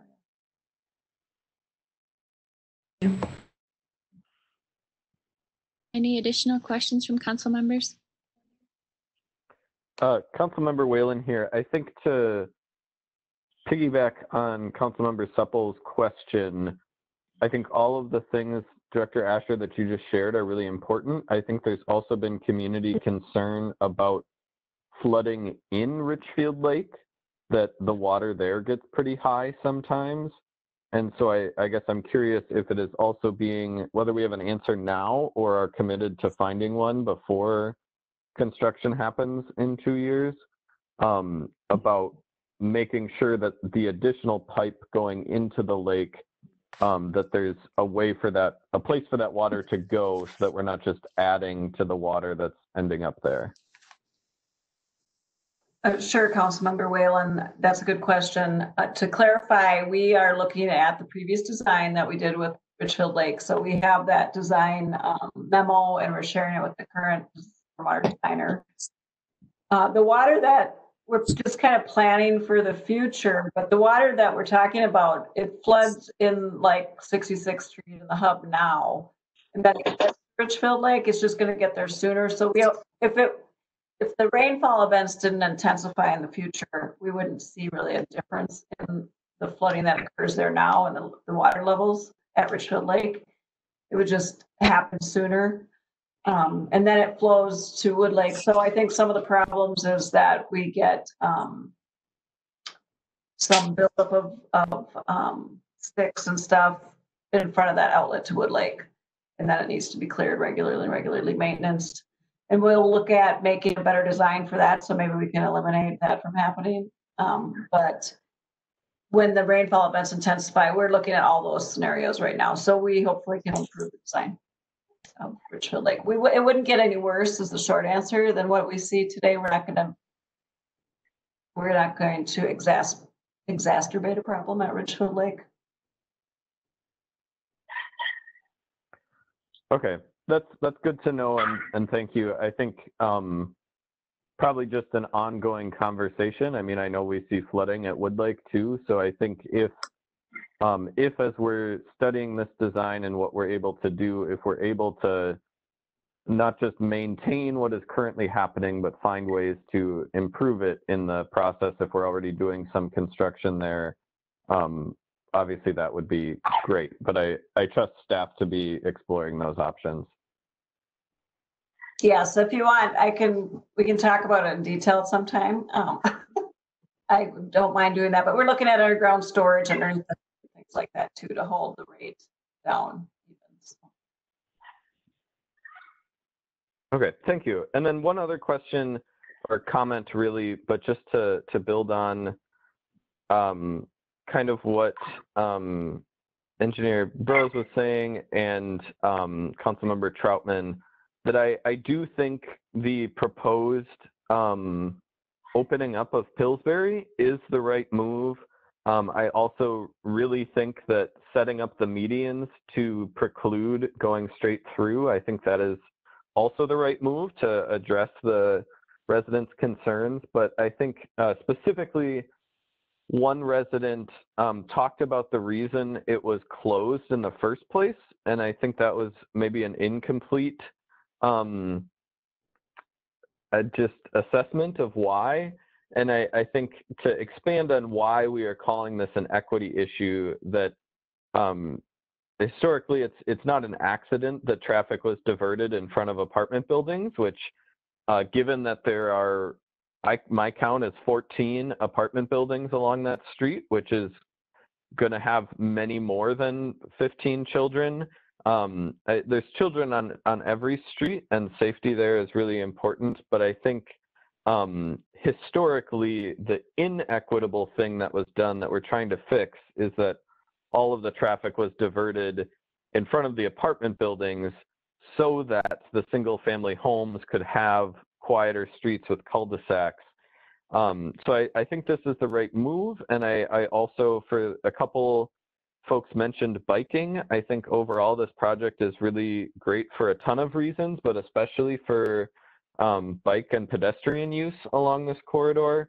And uh, just would, I, I know it is not the same as, as having a cul-de-sac essentially, but um, to the, the residents who are worried about losing the ability to, to bike safely in the street with small children, um, just would point out that there will now be a stretch of um, of bike trail that connects to. I appreciate a few residents in the open houses raised the need to connect that bike trail to those cul-de-sacs on Blaisdell and Wentworth.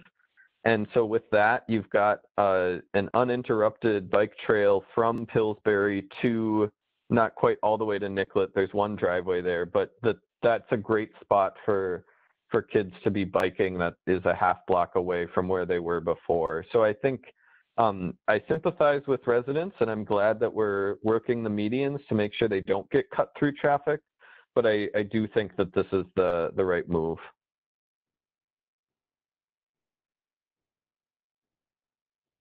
Any additional comments from council members? No. Okay. Oh, council member Trautmann. Yeah, um, thank you, Mayor.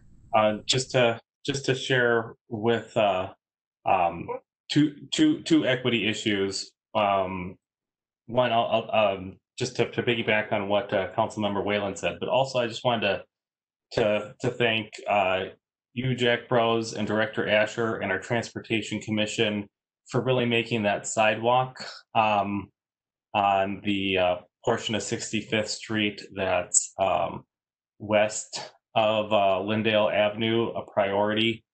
I know, um, and that's that's one of those areas that I've, I've become more aware of as a council member, um, just how important um, Richfield Lake is for for residents that have trouble getting around. That even places as beautiful as uh, Wood Lake um, is not necessarily accessible um, because of the gravel path um, that uh, Richfield Lake is accessible. But then for some of our older residents and residents that find it harder to get around, there's no sidewalk. Which, if you're moving slow or you're moving more, you know, more difficult, that that that we're we're make we're going to make that that area more accessible for more of our residents. So I wanted to say thank you uh, for that, and um, for for our our single family homeowners um, and our and our renters. We we do have a concentration of families on that street and it's a privilege to be able to um, to to make that to make that equitable.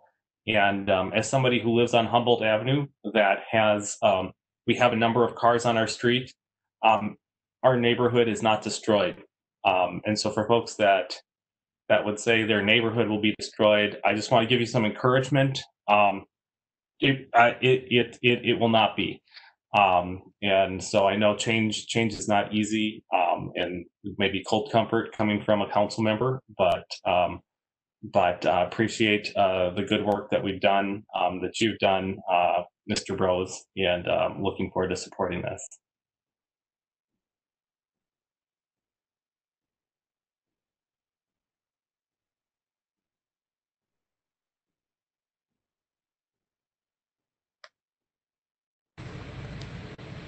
So, Madam Mayor, did you want to take this as two separate motions or one combined motion?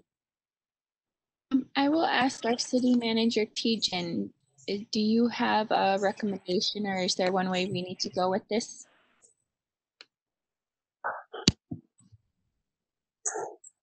Mayor, did you mean city attorney, teacher? What did I just say? City manager? I'm sorry, city attorney. That's attorney. okay. I thought maybe I Demoted her. was getting a promotion or something.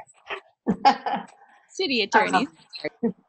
No, it, one, uh, just one motion would be perfectly acceptable, Mayor. Great, one motion it is.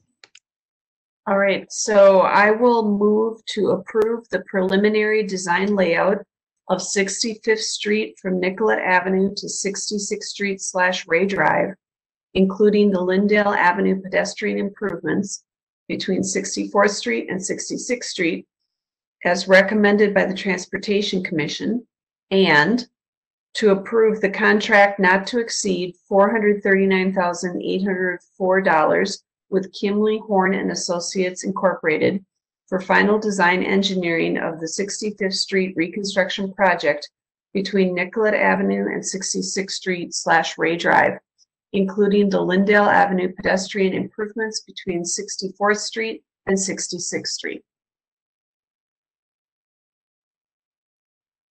Councilmember Whalen, I'll second. Thank you. The motion has been made by Councilmember Supple and seconded by Councilmember Whalen. Are there any additional council comments? Councilmember Supple.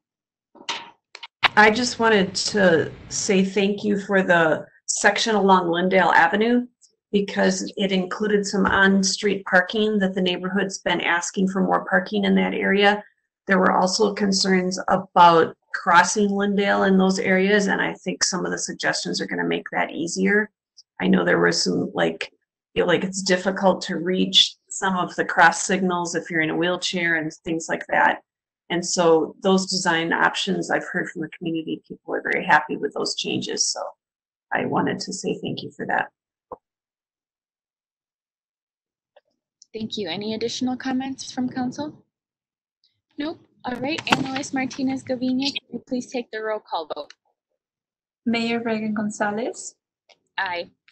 Councilmember Supple, Aye. Councilmember Trautmann, Councilmember Garcia, Aye. Councilmember Whalen, Aye.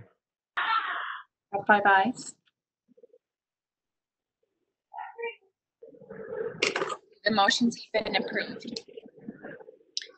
The next item is um, consideration of the appointment to the planning commission opening, um, for the planning commission opening. The planning commission has a midterm resignation. The city council held interviews of interested residents on July eleventh, twenty twenty via WebEx. Following the interviews, council discussed thoughts and recommendations. And the city council directed the city manager's office to conduct recruitment seeking applicants to fill the vacancy. The recruitment included information on the city's website and social media platforms. Um, so as always, I'll just say one of the things I enjoy the most is getting to meet new residents and really hearing um, about the passion and interest that our residents have for serving the community. And we have such a diversity of folks that always apply. Um, and again, this process of interviewing folks for the Planning Commission was a pleasure again. Um, and another opportunity to just learn about the exceptional leaders that we have in our city. And I'll just say, um, in my decision making, I really looked at kind of the the skills and strengths that we had on our planning commission now, and the vision of the council and the city moving into the future, um, because the planning commission does play a very important role in, in deciding what our community looks like far into the future, um, and you know people's ability to really um, do things like get input from residents most impacted, but really be able to go out and seek um, input from our residents overall. We are looking for commissioners who are um, interested in really being more active in getting resident input.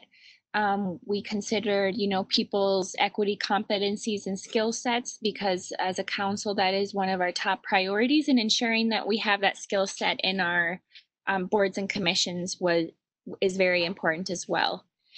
Um, so I guess I'm sure there'll probably be other comments from council members, but I'll just make the motion and then we can second it and I can open it back up for council member comments. Um, I'll make the motion to appoint Brett Strusa, a member, um, as member to fill the vacant term on the planning commission. And Brett is the former, will be the former chair, she's the chair now, of the Human Rights Commission. So Councilmember Trautmann, second. great. Thank you, Councilmember Trautmann. Um, Mayor Regan Gonzalez has made the motion and Councilmember Trautmann has seconded. Are there any additional comments or questions on this item from council members? Um, Councilmember, yes, I'll speak up. oh, sorry, Councilmember Supple, and then do you want to go afterwards, Councilmember Whalen? All right, um, this is Councilmember Supple. Um, I just want to echo what you said. It was really great listening to all the people that we interviewed. We have a great deal of talent in Richfield, and it was really exciting to talk to everybody and hear all the different ideas.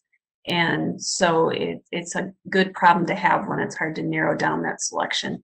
And I'm very confident that um, Brett will do a fantastic job. And thank you to everybody else that applied.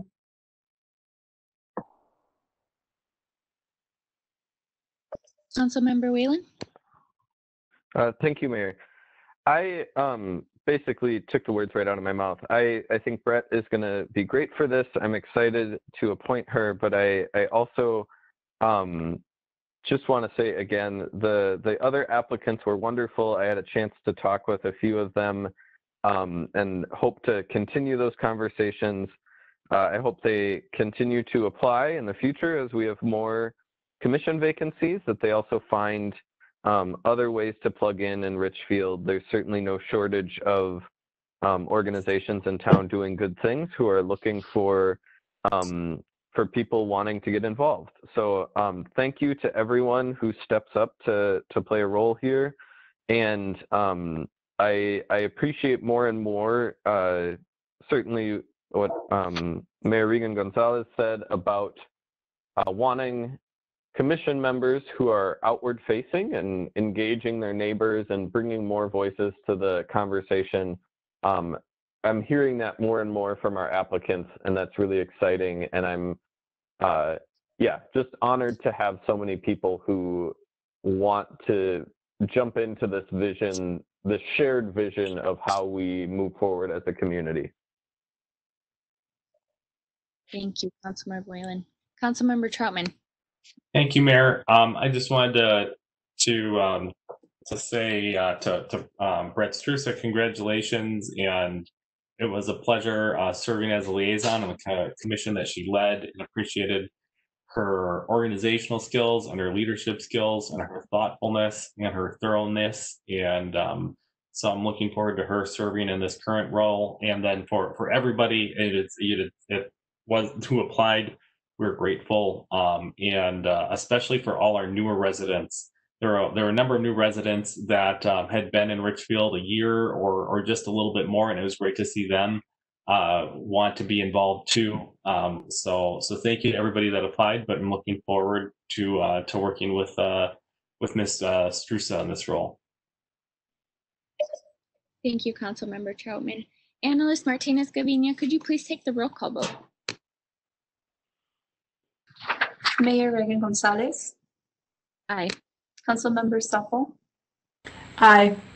Councilmember Trautmann, I Councilmember Garcia, Aye. Councilmember Whalen. Aye. We have five ayes. Thank you. The motion has been approved. The next item on the agenda is the city manager's report with City Manager Rodriguez. Thank you, Mayor. I have a short report tonight. Um, as you all know, Governor Walz issued an executive order, um, twenty eighty-one, and as of July twenty-fifth, um, the order went into place and, uh, folks need to wear masks. Um, they need to wear masks in all indoor businesses, any public space, including all city buildings. Um, we have, uh, incorporated that into our preparedness plan for our staff. Um, and also, uh, you know, all of our buildings, we are asking people to wear masks. There are some exceptions. Um, you know, children under two years of age should not wear a mask. Children from two to five, um, it's encouraged but not required. And um, for those folks that have a medical or health condition, uh, disability, or mental health developmental or behavioral needs that make it difficult to tolerate a mask, they have an exemption. Um, anyone that has trouble breathing, um, and there's some others that apply to, um, you know, workplaces. There's very good frequently asked questions on the Minnesota Department of Health website. Um, folks can also call here if they have a question. Uh, I would just ask that people have some understanding out there. If you see people that are out without a mask on, it is possible that they have one of those exceptions. Um, and also some understanding for our staff. There are people that work long shifts with the public and they're having to wear a mask um, for the entire shift. And, and I know I've got mine and I'm getting used to it and I'm wearing it even when I'm alone in my office out of solidarity. And it, it is, it is an adjustment. And that's all I have for tonight. Thank you, City Manager. Any comments or questions from council members on the City Manager report? No? Great. Um, and then the next item is claims and payroll, which goes to Councilmember Garcia. Uh, thank you, Mayor. Uh, it's been a long meeting. I've got to take my nebulizer treatment, so I'm just gonna, um, uh, you know, exit after I, I move claims and payroll. So I will move claims and payroll. Thank you, Councilmember Garcia. Supple, second. Thank you. Claims and payroll has been moved by Councilmember Garcia and seconded by Councilmember Supple. Um, can you please take the roll call vote? Analyst Martinez Sevilla. Mayor Regan Gonzalez, Aye. Councilmember Supple, Aye. Councilmember Trautmann, Aye. Councilmember Garcia, Aye. Councilmember Whalen, Aye. have five ayes. Thank you. Claims and payroll has been moved. Thank you, Councilmember Garcia, for joining us. Thank you, Mayor. Uh, and I will exit at this point. Thank you. Thank you. Bye-bye. Our last item is hats off to home hits, and I'll pass it to Councilmember Whalen. Uh, thank you, Mayor. Uh, just a few comments. Um, wanted to let people know our next uh, council meeting is actually going to be on Monday, August 10th, um, because uh, Tuesday, August 11th is the primary. So I want to encourage people to um, to vote in that. Make sure your voice is heard. Check out the the voter services portion of our website um, for more information on how you can vote by mail, when you can vote early.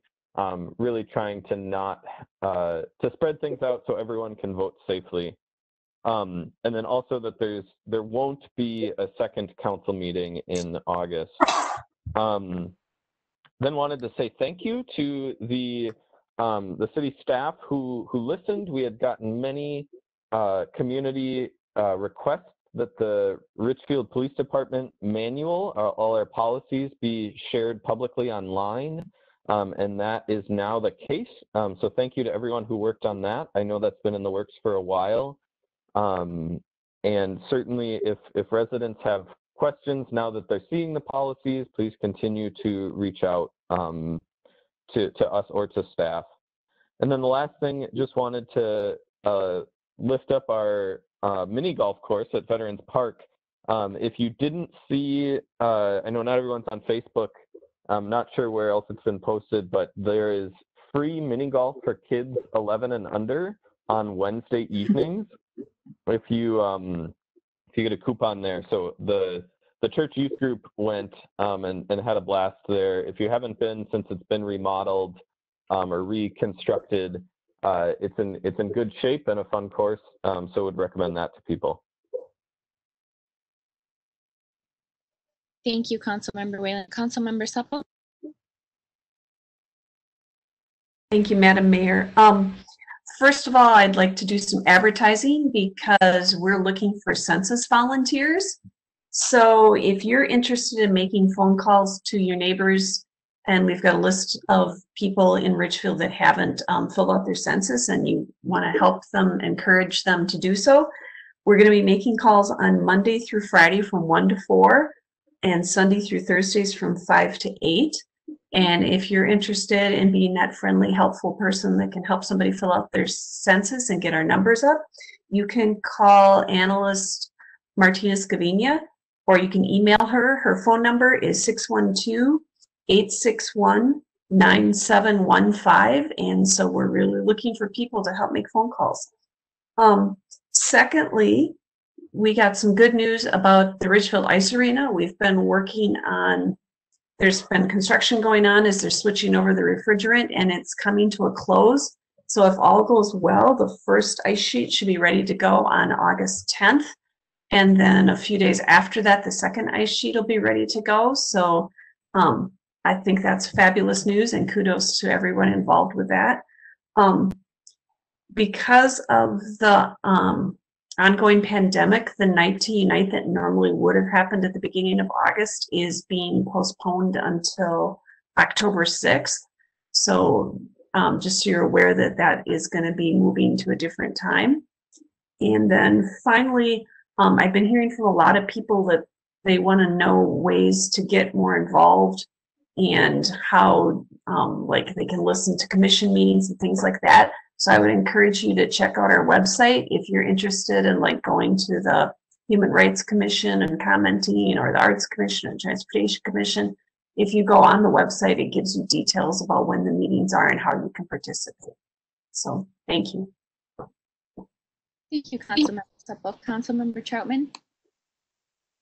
Uh, thank you, Mayor. Um, I'll be brief. Um, uh, the uh, some of the other uh, comments I had, hats off, uh, were already shared, but I will share a hats off uh, to our fire department to our west, to the Edina Fire Department. Um, so we we're all glad that we have our fire chief with us, but in the Sun Current, they just had an incredible story about just how amazing both Chief Kewitsch's family was that immediately performed CPR, but um, especially the Edina Fire Department um, that were timely in getting to our chief and um, got him got them to got him to a specialist in time. And so uh, hats off to the Edina Fire Department. Uh, thanks, guys.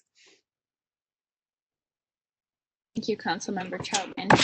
Um, and then I will just add to Councilmember Supple's census update and phone bank, but we do have requests in addition to helping out with shifts, um, calling our neighbors to make sure that folks are filling out their census. We are looking for shift managers. So these are folks um, that will really help us organize these shifts on on Mondays um, and Fridays and Sundays. Well, there's multiple days and multiple hours that we're looking for not only um, volunteers but also we are looking for two shift managers. So um, they would be two folks that would be able to stay with us throughout the project. So it's not kind of like a one-time volunteer thing but it's more ongoing while we are trying to encourage our neighbors to fill out the census.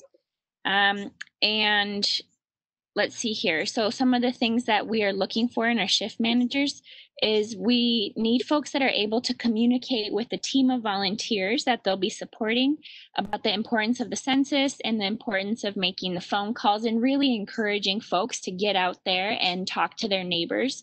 Um, and then also distributing training documents, making sure that the volunteers are reviewing their materials um, before the the team training and then um, encouraging and supporting volunteers to sh- sign up for shifts, giving them necessary reminders, following up with folks, and then um, just supporting volunteers again with any constructive feedback, making sure that we are really being successful in reaching out to our neighbors to fill out the census. We get one chance to do this every 10 years, and Richfield has been identified to have communities that are undercounted, and um, when that is the case, we all we all suffer, and we really do have lack of resources, infrastructure, um, support for the communities that need it the most, and that's our community. So, in terms of requirements for these volunteers, you need to have access to a telephone, so it can be mobile or landline, and an internet connected computer um, be able to read the training documents before the training sessions, and then share any feedback or concerns um, with our staff that um, are helping with this initiative. And then be available every Monday through Friday, 1 to 4, and Sundays through Thursdays, 5 to 8. Um, so it is somewhat of a tall order and a big ask, but this is a perfect project for somebody who really has some time to commit and really wants to do something extremely impactful in our own community. We are looking for two shift managers. Um, so if you have any interest in that, I will just repeat um, you can contact Executive Analyst Blanca Martinez Gavina and her phone number 612-861-9701 or her email is bmgavina at richfieldmn.gov. And that is all I have. All right, well, seeing as we have no other items, I will adjourn our city council meeting. Thank you, everyone. Have a great night.